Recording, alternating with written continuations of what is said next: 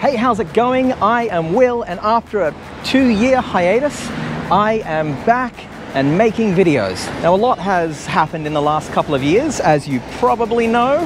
Uh, 2020, 2021, and 2022 as well just haven't been the best of years. And during that time as well, I have dropped off my training quite significantly, and it's something that I definitely need to improve on and get back. I've put on a couple of kilos, got a couple more grey hairs, but I'm really looking forward to getting back into it. I have been lucky enough to be selected to be part of the 99 Bikes Green Team for 2022. The e-bike that I have selected is the Merida e-Big 9 300 SE. Bit of a long name, but basically it is a mountain bike uh, e-bike. So I've never had a mountain bike before. This is going to be awesome because, hey, I'm going to be able to do some mountain bike content as well.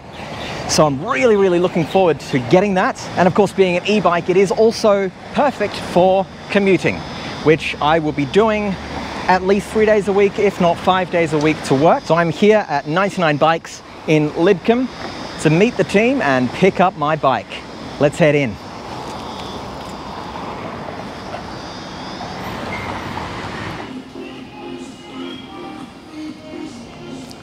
Aftershokz headphones. I definitely recommend them. Wearing them now.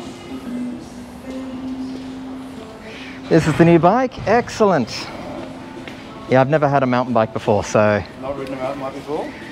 Okay. No, I've been road bike for the last. And have you ridden an e-bike or? I've ridden an e-bike only when, you know, the hire ones in city, that sort of thing. Yeah. So very limited e-bike usage. Yeah. So then this will be um, this will be a, another another another another world for you. Hello. Yeah, nice to meet you, Rob. Yeah, really nice to meet you, and I'm glad you Yeah. chose Lidcombe Store. So Yeah. tell, me, tell me about how you're going to be using the bike. Um, well, as a commuter bike to begin with, so going to and from work. Yeah. So I work in Silverwater, um, but I live in Parramatta, so it's about eight kilometres ride, which is really nice along the river. You've got the river Um, there. yeah, Yeah. yeah, so they're great. And with this, I might do a bit just for the fun of it, off road as well. Well, Sean's one So- of our off-road experts. He can Yeah. give you a few tips. So here's your here's your display unit. Oh, yep. So that's eco mode, Oh, yep, with one bar. one bar, Yep. trail, Trail for two bars right, and then boost mode. and boost mode for three bars. Great. We also have a nice little function with this bike, which is called walk. Yep. It's a little walk symbol, Oh, yep. So walk mode. and then you hold this down, Yep. and the bike will walk forward. Ah, okay. so if you're pushing up steps, for example, you Yep. don't want to ride up there, but also I can, uh, yeah. you can just have the bike help itself up. You've got uh, range, distance, and odometer. Yep. At the moment, in your eco mode, it's saying you've got 100 kilometres range. So in trail mode, you get to say 75 kilometres range, Yep. and in boost 50. Yeah. I'll around in eco to kick off, but Yep. hopefully you go and find some trails, and then you can sort of pop it into trail mode, and it, That it one. actually senses a bit more for you in terms of I need more power now and Yep. less power in different spots. Yep. And obviously you've got your gear ratios that you can run through as well. You Yep. kind of balance the boost that you're getting, the assist, Yep. as the gear that you've got as well. So that I'm, yeah, moving uh, my cadence. Because it can be a With bit a of a consistent rate. that it's going to get you up any hill, Yep. but you still need to be helping it. And so Yeah. coming into a steep, slippery hill, Yep. you just need to be getting yourself into the right gear beforehand. Yeah. Same as on a road bike, really. So you've got hydraulic brakes on this. I don't know. Yep. Familiar with hydraulic brakes? Haven't used hydraulic brakes before, so. Something you'll need, should you end up with a puncture, Oh, yeah. is this. Okay. It's a brake spacer. If you have a look down in here, Yep. you can see the rotor goes through the pads. Oh, yeah. Right?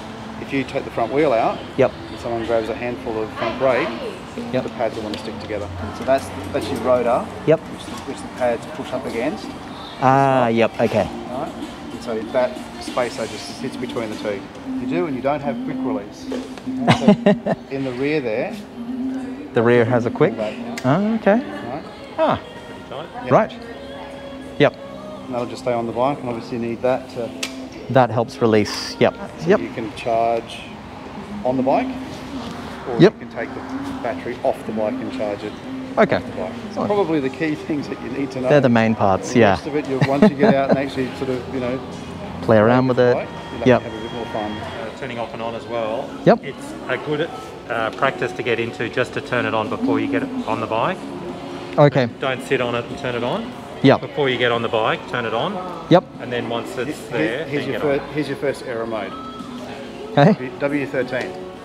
W13. Okay.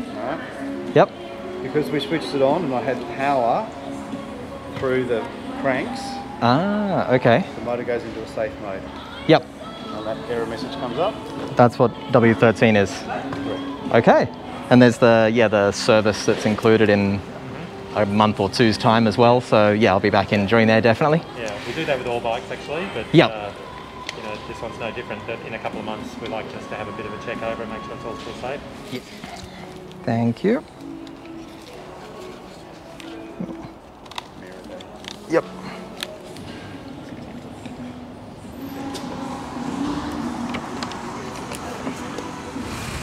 Thank you. Well, the experience at 99 Bikes was absolutely awesome. The team was so friendly, uh, so full of knowledge as well, especially uh, Sean, who was the, I guess, resident mountain bike um, and somewhat e bike expert. Uh, I asked him loads of questions. He was able to answer everything. It was great, and I've got some really awesome ideas for upgrades for the bike as well for future when I eventually get to that. And for now, let's start enjoying this awesome new e-bike. It's going to be an awesome 99 days. I am really looking forward to it and I'm especially looking forward to not being in traffic over the next 99 days. And so to all the team at 99 Bikes, especially those at 99 Bikes Lidcombe, uh, Kathy, Rob, Sean and all of your team, thank you so much for this wonderful Merida e-big 9 300 SE e mountain bike. I am having an absolute blast cycling around in it at the moment and I know I'm to have the most fun ever getting to know this bike and putting it through its paces over the next 99 days. Thank you for watching. Cheerio.